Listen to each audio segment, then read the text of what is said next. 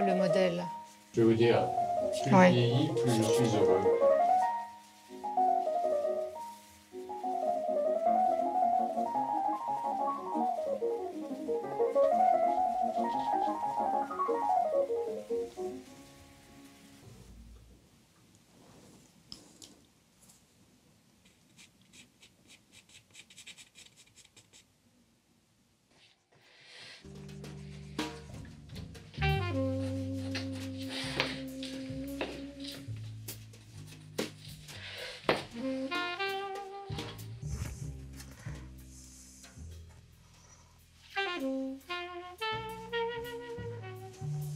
Nanteuil touche à la gloire en réalisant face à face et sur 12 ans cinq portraits en personne de Louis XIV.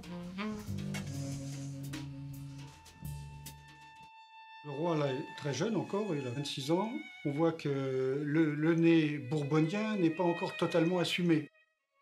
Le léger petit sourire au bord euh, des lèvres.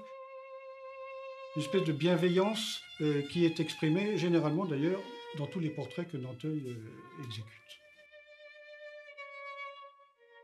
Donc celle-ci est deux ans après. On est en 1766.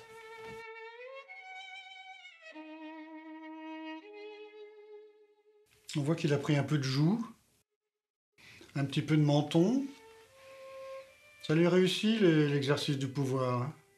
Et du coup, il a l'air un petit peu plus satisfait de lui-même, on dirait.